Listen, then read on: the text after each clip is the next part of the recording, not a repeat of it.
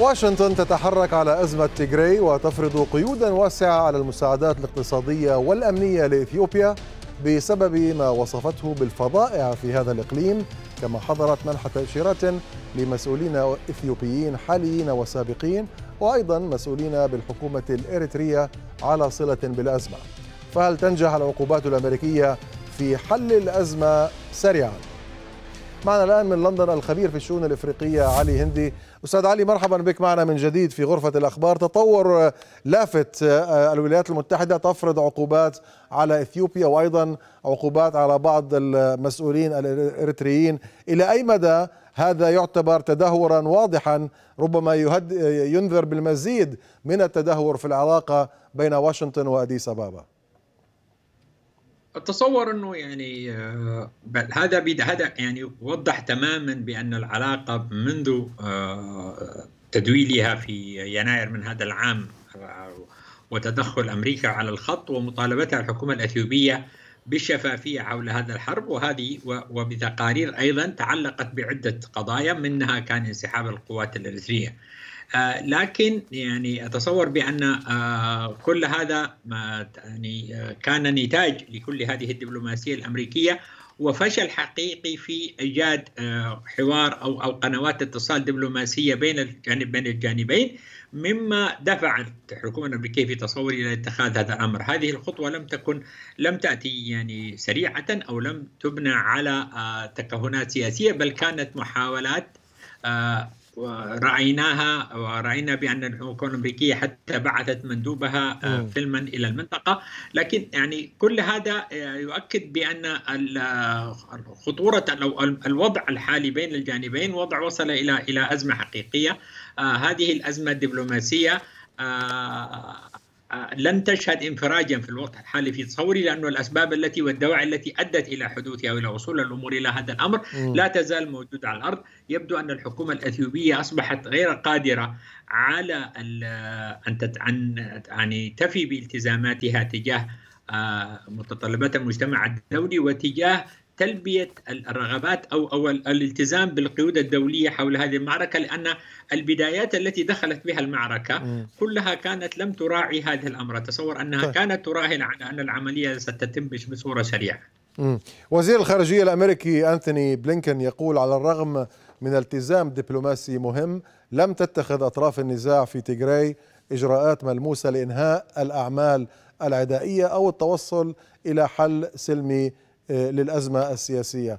يعني أديس أبابا تقليديا أستاذ علي حليف قديم للولايات المتحدة وهناك الكثير من الملفات ملفات التعاون بين الطرفين. إلى أي مدى بالفعل ستتأثر هذه العلاقة بشكل يعني واضح بعد فرض العقوبات أم أنها يعني عقوبات رمزية مع أنها الحقيقة يعني أكثر من رمزية لأنها تطال المساعدات الاقتصادية ومساعدات لها علاقة بالجانب المالي وليس فقط حظر السفر ومنع تأشيرات إلى آخره. الخطورة الحقيقيه بالنسبة للموقف الاثيوبي في تصوري هي أن ليس الدعم المالي فقط كما أشرت لكن أيضا الدعم الدبلوماسي السند الدبلوماسي الذي ارتكزت عليه إثيوبيا لسنوات طويلة جدا حتى بعد على أحداث يعني تغيير الحكم في عام 1991 وتغيير وذهاب الحكم العسكري في تلك في في تلك الفترة. كله كان يعتمد على الدعم الدبلوماسي الأمريكي حتى وإن لم يكن هنالك دعما ماديا حقيقيا لكن كانت الحكومة الأثيوبية دائما تبقي على علاقات مسافه يعني محددة مسافة قريبة جدا من الإدارة الأمريكية لم تحاول في أي من مراحلها أن تبعد كثيرا. جبهة تحرير تجراي التي كانت في الحكم هي حاولت استقطاب استقلال البعد الأمريكي عن المنطقة منذ عام 2008 وبدأت تتجه في في في في, قنوات أخرى بدات ترى في الولايات المتحدة تهديدا حقيقيا، مجيء أبي أحمد كان بالنسبة للإدارة الأمريكية احتفاء وكانت تعول عليه الكثير، وبالتالي يتصور بأن الإدارة الأمريكية الآن تقف أمام أمرين، الأمر الأول هو أن ما يحدث في الأرض من انتهاكات لن تستطيع الولايات المتحدة الأمريكية أن تغض الطرف عنه. م. ثانيا الطريقة التي تتجه بها الحكومة الإثيوبية وتحالفاتها في المنطقة مع الجانب الإريتري والصومالي أيضا تصب في اتجاه تف يعني تفويت الفرصه على الإدارة الأمريكية للعودة إلى إلى القرن الأفريقي م. الأمر الذي يعني استعدت له واستعد حلفائها له في المنطقة من أجل أن تكون هنالك عودة، كل هذه الخطط بدا بدأت يعني دخلت في في في, في يعني لنقل اصطدمت بحائط واصبحت وأصبح هنالك مشكلة حقيقية، بالتالي طيب. حقيقه حقيقة الأزمة هي حقيقة أن الأزمة لديها عده عدة اتجاهات أو عدة جوانب. طيب أستاذ علي أيضا كان لافتا رد الفعل الإثيوبي على هذه العقوبات. الخارجية الإثيوبية في بيان لها تقول القيود التي فرضتها الولايات المتحدة على إثيوبيا ترسل إشارة خاطئة في وقت تستعد فيه أديس أبابا لإجراء انتخابات وطنية من المتوقع أن تؤدي إلى نظام سياسي جديد.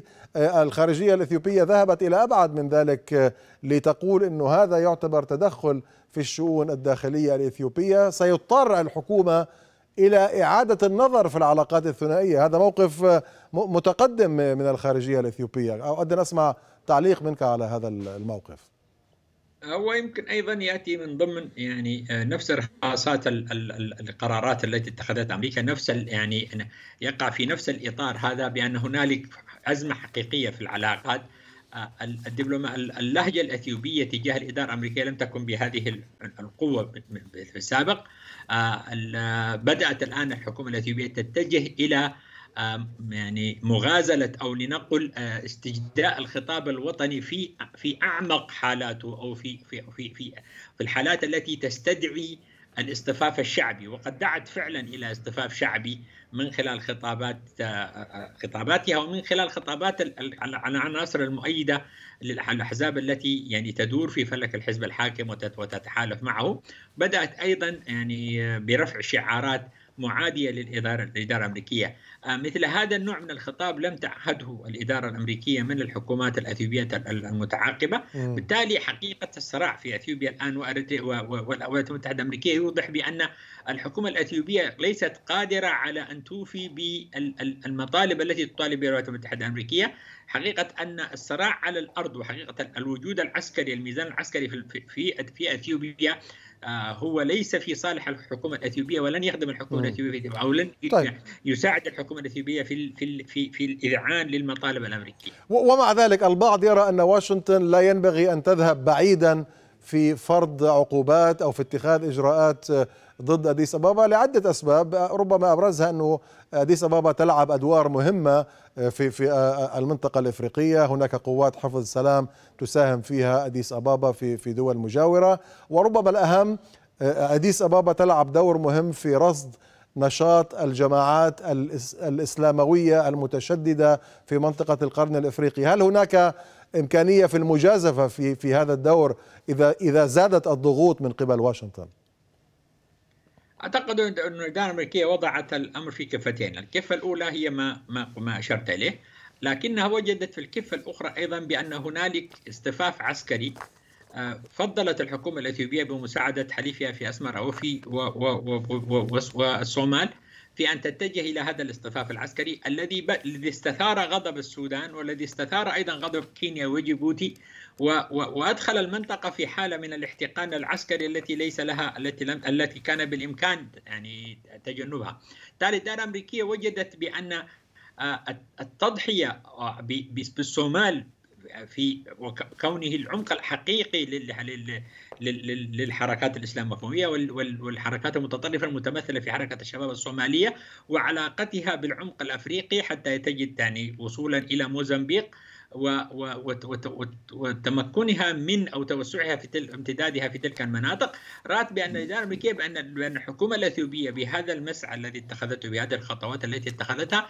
إنما سعت إلى ان أن تقيم تحالفا عسكريا على على عوضا من أن تقوم بإحداث تكامل اقتصادي كانت تعول عليه الاداره الامريكيه من أجل الاحتفاء الالتفاف واحتواء هذه الأزمة. بالتالي أنا أتصور أن يعني الخيار الآخر وهو خيار أن تفرض العقوبات على الحكومة الأثيوبية في محاولة لرد الحكومة الأثيوبية عن النهج الذي اتخذته وبالتالي خلق تعاون حقيقي مع كل دول هذه المنطقة لأنه كينيا عنصر مهم. لا تريد البلاد الامريكيه أن يكون بعيدا عن هذا الأمر. أوغندا عنصر مهم السودان عنصر مهم كل هذه عناصر مهمة كانت ترى ترى الولايات المتحدة الأمريكية أنه لا, لا يمكن خسارتها في هذا الأمر. أن وزن أثيوبيا لا يمكن أن يكون أكثر من وزن كينيا كلاهما ولديهما طيب. نفس الوزن.